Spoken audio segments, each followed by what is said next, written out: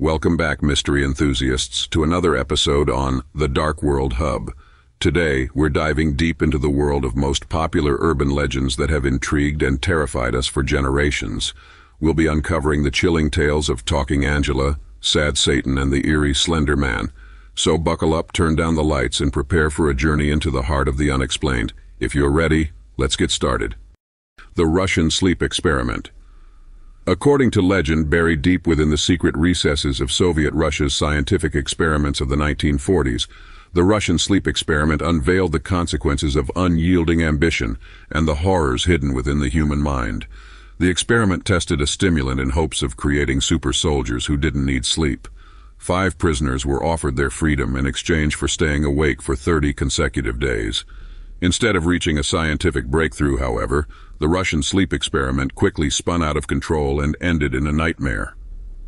The scientists locked the prisoners inside a sealed chamber, exposing them to the gas-based stimulant while observing their behavior from the outside.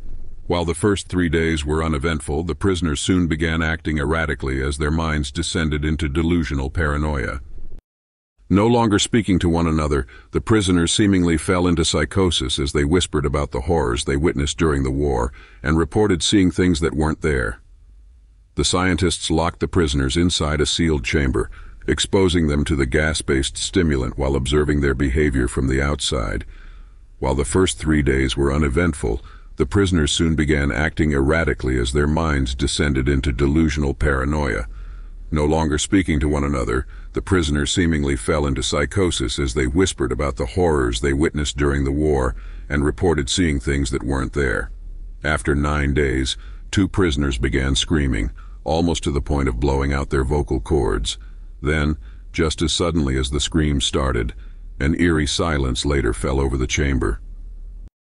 The experiment was cut short on its 15th day, when the scientist opened the chamber to check on the prisoners and walked in on countless acts of depraved brutality.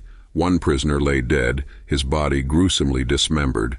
The others suffered from various forms of self-mutilation, having ripped out chunks of their own body. Their fingertips ended in jagged bones, presumably utilized to scrape the skin off their own faces. The survivors also developed inhuman strength and a resistance to sedatives. When questioned why they mutilated themselves, the subjects responded, I must stay awake, and refused to leave the chamber. Ultimately, all five prisoners died, but not before telling the scientists they were the evil you bury while you sleep. The Blind Maiden Warning. Entering this website may cost you your life. According to legend, blindmaiden.com is home to an evil spirit that will steal the soul of anyone who enters. For those brave enough to risk an encounter, Gaining access isn't as easy as simply typing the name into the browser. The website is usually offline, leaving most thrill seekers without being able to enter. But don't lose hope, as access can be granted if you follow three particular conditions. 1. It must be a moonless night. 2.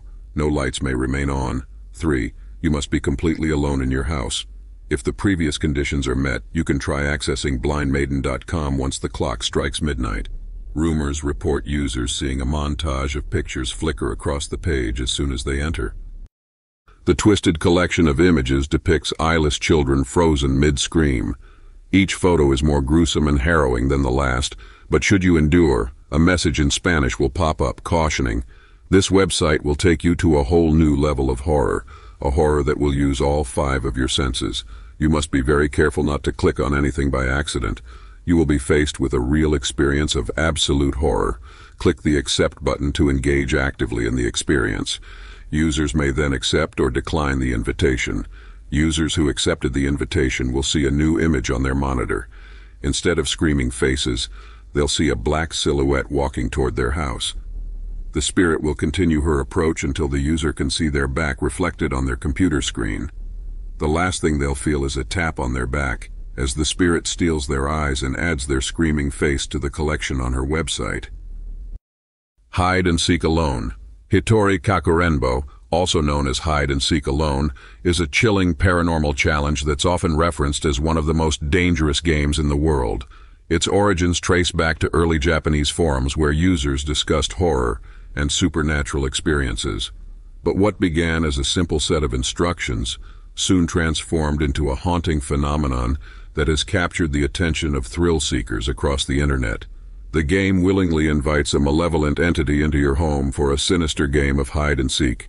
Be warned, the consequences of being found can, according to legend, potentially cost you your life. Players who survived Hitori Kakurenbo have also reported instances of possession, severe bodily harm, and episodes of psychological distress. To summon the spirit, participants will need a doll with limbs, nail clippers, a bag of rice, a needle with red thread, a pencil or another sharp object, a cup of salt water, a bathtub or sink filled with water, and a TV in the room you plan to hide in. The game can begin at 3 a.m. after a series of rituals invites the entity into the doll. The game doesn't end until players drink a mouthful of salt water to banish the spirit from their home. If you choose to play, do not let the game go on longer than two hours and never, for whatever reason, let the spirit find you. Slender Man On May 31, 2014, horror rocked the small town of Waukesha, Wisconsin, when two 12-year-old girls lured Peyton Leutner into the woods and brutally stabbed her 19 times. The ritualistic attack was part of a pact made by Morgan Geyser and Anissa Weier to gain the favor of a creature known as Slender Man. Slender Man emerged from the shadows in 2009 when Eric Knudsen, under the username Victor Surge, shared a chilling photo manipulation on the online forum Something Awful. The black and white image depicted a group of children playing on a playground, unaware of an eerie figure lurking ominously in the background. Knudsen said he wanted to create something whose motivations can barely be comprehended and which caused unease and terror in a general population. He had no idea his creation would fuel a new era of modern urban legends. Characterized by its unnaturally tall body, elongated limbs, and featureless white face, Slender Man embodies an unsettling aura of mystery and terror. He quietly invades our lives, blipping into existence in the background of birthday parties, family gatherings, and celebrations. The ambiguity of his nature resonated with people so much, it wasn't long before the forum exclusively focused on building lore surrounding the faceless creature, each entry breathing more life and collective fear into its creation. His strength grew with each new story and photo posted, transforming him from a silent, amorphous figure to a malicious being set on stalking and psychologically torturing his prey. With each new story, Slenderman blurs internet fiction with reality, and the collaborative nature of his creation skyrocketed his popularity until he became one of the web's most famous urban legends. The Rake. In the fictional backstory of The Rake, Sightings of strange, humanoid creatures spread throughout rural New York communities during the summer of 2003, sparking fears of an unknown species invading towns. The mysterious creature was allegedly caught on camera, sparking brief media interest before an apparent blackout erased all traces of the creature from existence. Known as the Rake, this entity appears human, yet its features are profoundly unsettling. The creature has a lanky, emaciated physique, a hunched back and knife-like teeth. Its pitch-black eyes are hollow and devoid of any discernible emotion. Some accounts depict the rake with long metallic fingers resembling rakes, while others describe them as bones that have been sharpened into points. The rake is considered dangerous, attacking those who encroach on its territory, though it's also known to stalk humans like prey. On rare occasions, the rake will silently enter a home, killing its victims before they wake. Some say the creature can shapeshift, while others recount the creature teleporting, allowing them to track their intended victims regardless of how far they drive to escape. The rake's creator is unknown, but online forums claim the first sighting was noted in a journal as early as 1691. The journal reads, He came to me in my sleep. From the foot of my bed I felt a sensation. He took everything. We must return to England. We shall not return here again at the request of the rake. Candle Cove. Candle Cove is best known for being the most disturbing TV show to ever exist. Created by cartoonist and author Kris Straub, the story launched on his website Ichor Falls before becoming one of the internet's most famous creepypastas. Told in the form of an online thread named Net Nostalgia Forums, a group of users begin discussing an old children's TV show, Candle Cove. The reminiscing starts innocently enough, with discussions about a character named Janice who imagined she was friends with pirates, but it slowly took a disturbing turn as they recalled bizarre characters like Skin Taker, who wore clothes made from children's skin. They also recalled an entire episode in which all the characters did was scream. More distressing details gradually emerged. The users remembered different versions of the same episode. No record of Candle Cove actually existed, and whenever they watched Candle Cove as children, their parents claimed they were watching static instead of a TV show. While Straub was inspired to write Candle Cove after reading an article on The Onion, fans quickly spread the story across the internet until it took on a mythos of its own. Dedicated fans have created websites devoted to the characters and their mythology, and have even written detailed episode descriptions for two seasons of the show. Its popularity eventually led Syfy to develop Channel Zero, a show whose first season centered on the mystery of Candle Cove. The Elevator Game The origins of the elevator game trace back to either Japan or South Korea, where whispers of an otherworldly challenge began circulating around the internet in the late 2010 IES. According to urban legend, the game is a dangerous ritual intended to transport daring participants to another dimension, where the veil between the living and the otherworldly diminishes. To play, you must follow these rules. 1. Enter a building with at least 10 stories. 2. You must enter the elevator alone and you can't leave the elevator until you've completed every step of the ritual. 3. You must ride the elevator from floor to floor in a specific sequence. The sequence is as follows. Go up to the fourth floor, down to the second floor, up to the sixth floor, down to the second floor, back up to the tenth floor, then back down to the fifth floor. 4.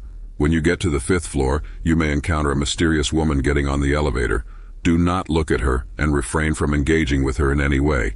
If you engage with the woman, you risk never returning to the real world. 5. The next instruction is crucial. Push the button for the first floor. If the elevator operates as normal and takes you to the ground floor, exit immediately and do not look back. Don't speak to anyone who approaches until you leave the building. If, however, the elevator starts ascending, you've gained access to the other world. Players must be careful when venturing outside the elevator. Sometimes the world can be dark, with an eerie red glow appearing outside the windows. Sometimes the new dimension may appear almost exactly the same as normal. Don't be fooled. As soon as you step outside the elevator, you may easily become lost as the world begins to shift around you. Whatever you do, never lose track of how to return to the elevator. If you do, there is no getting back. We're halfway through our list of the most popular urban legends, and we'd love to hear from you. Do you have any spooky stories to share? Which of these legends have you heard of before? Do you have an urban legend you would like for us to cover? Drop a comment below and join the conversation. We'll let you in on a secret at the end of this video. Now let's get back to our countdown. Dear David, it all started with a nightmare. On August 7, 2017, illustrator and cartoonist Adam Ellis greeted Twitter by recounting a recurring nightmare about a ghostly boy named David. What started as a way of clearing his head soon progressed into a series of bizarre events that captivated the internet and had thousands fearing the appearance of a childlike ghost with a dent in his head. The more Ellis tweeted about his experiences with David, the more strange phenomena manifested in his presence. But Ellis didn't expect to be taken at just his word. Unlike most ghost stories lingering on the internet, Ellis provided Polaroids of his doorframe that refused to develop, audio clips of weird bumps in the night, and videos of his cats acting strangely. By cataloging his experiences, Ellis pieced together a haunting narrative convincing enough to feel real. Every unsettling event further blurred the line between reality and the supernatural, and it wasn't long until his Twitter thread became a captivating multimedia experience that drew readers deeper into the legend of Dear David. Whether Dear David is fake or as real as the author suggests, there's something undeniably terrifying in its execution. Every update left readers a little more haunted by the possibility that the supernatural entity really existed. And if a supernatural entity existed, what was stopping it from transcending the computer screen and spilling into their world? Loab. There's a horrifying new cryptid haunting the internet.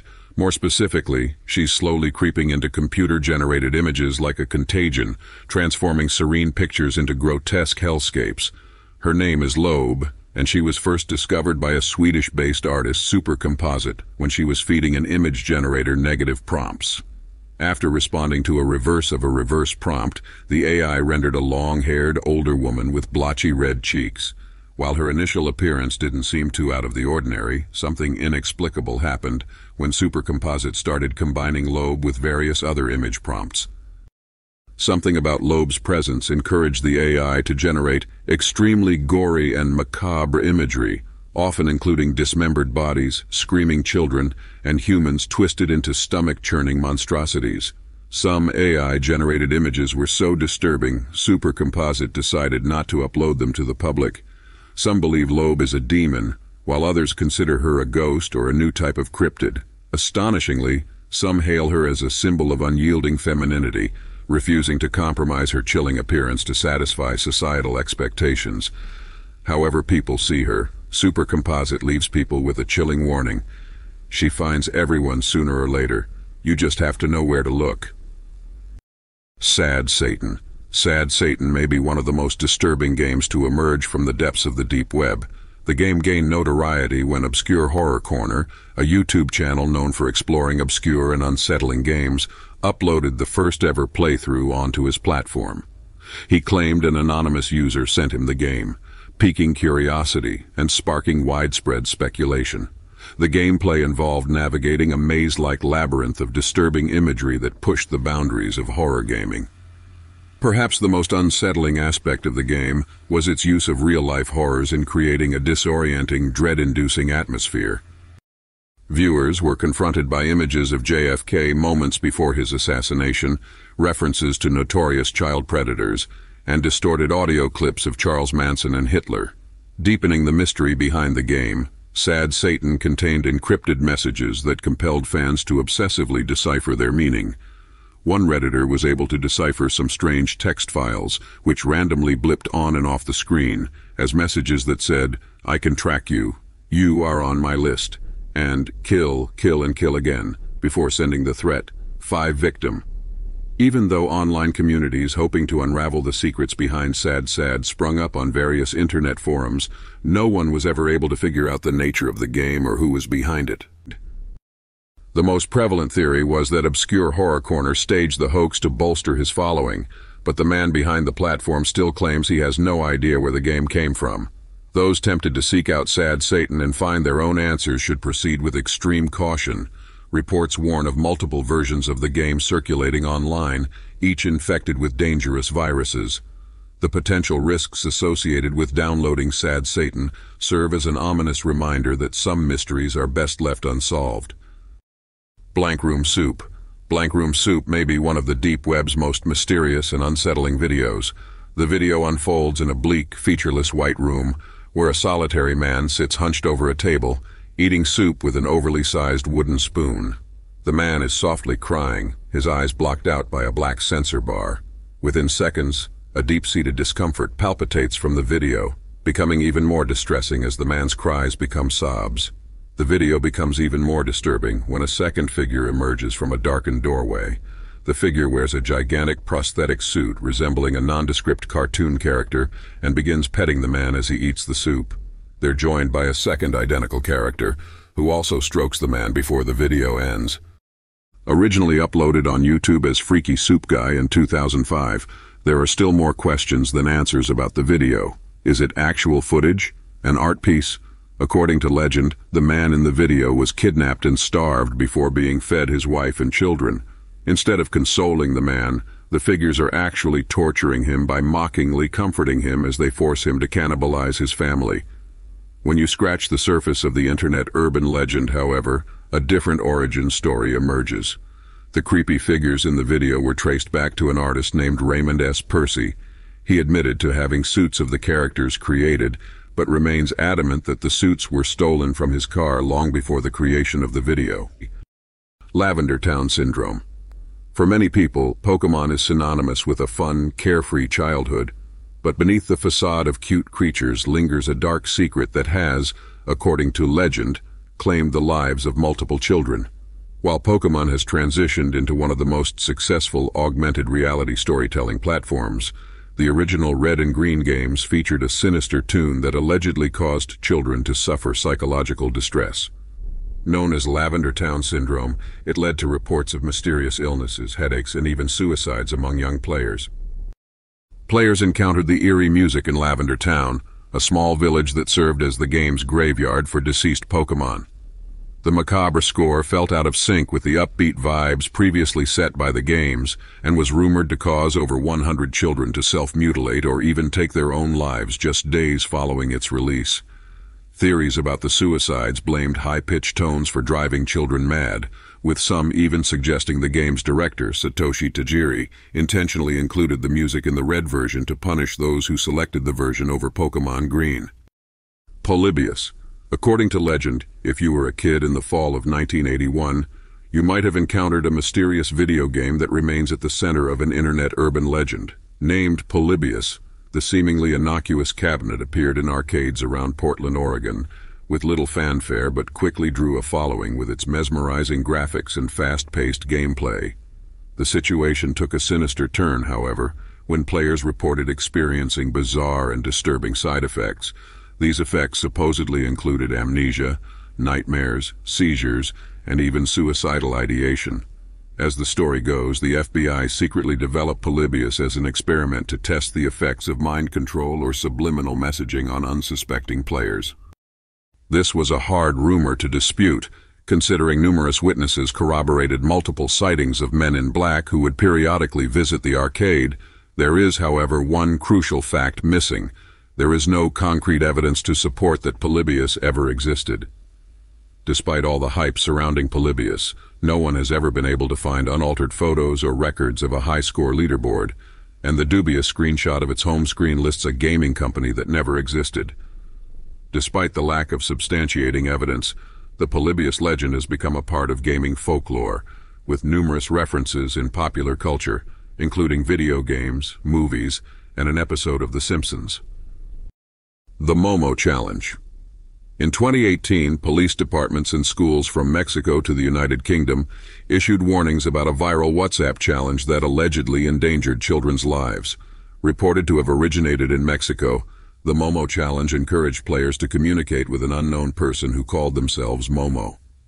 Using the avatar of an eerie bird-like woman with bulging eyes, Momo challenged players to commit various acts of delinquency and self-harm. A 12-year-old from Buenos Aires even reportedly hanged herself from a tree in her backyard. With a demonic appearance that can easily cause an adult to have nightmares, it's unsurprising that parents quickly panicked over reports of Momo instigating a suicide game among their children. As widespread as the panic became, there was never any solid proof that a child actually hurt themselves over the game. Even without confirmed reports of danger, Multiple police jurisdictions across various countries issued public safety warnings, stoking panic and keeping Momo's creepy image in the headlines. As widespread as the panic became, the reported deaths were never verified, and Momo eventually left the spotlight as quickly as she came. As for the origins of the creepy children lady, it's a sculpture called Mother Bird by Japanese artist Keisuke Aisawa, who claims he had no part in the hoax. Talking Angela a talking cat instigated a wave of panic across Facebook when parents became convinced it was the face of a nefarious group that targeted children. The character in question belonged to a phone application named Talking Angela. Angela is a cute, interactive cat who can respond to prompts, mimic things said to her through the phone's microphone, and read and react to hand gestures. In the age of interactive phone applications, Talking Angela sounds innocent enough, but controversy arose over a message feature that allowed users to chat with Angela. Parents feared hackers used the app to gain personal information about their children, potentially sharing their addresses and photos. The creators of Talking Angela, Outfit 7, repeatedly reassured the public that no personal data was collected, and claims of hackers and an underground ring associated with the app remain unfounded. As for Talking Angela chatting with children and taking their photos, Parents can easily disable these features by turning on the child safety mode offered when they first downloaded the app. Thank you so much for joining us on this journey through the most popular urban legends. We hope you found it as intriguing as we did. If you enjoyed this video, don't forget to hit that like button and share it with your friends who love a good mystery. And remember, the world of the unknown is vast and full of surprises. This brings us to revealing the secret. For our next video, We'll be diving into the eerie world of dark web mystery boxes. You won't want to miss it. So make sure you're subscribed and have notifications turned on so you won't miss any of our future explorations. Until then, keep questioning, keep exploring, and as always, stay curious. This is the Dark World Hub, signing off.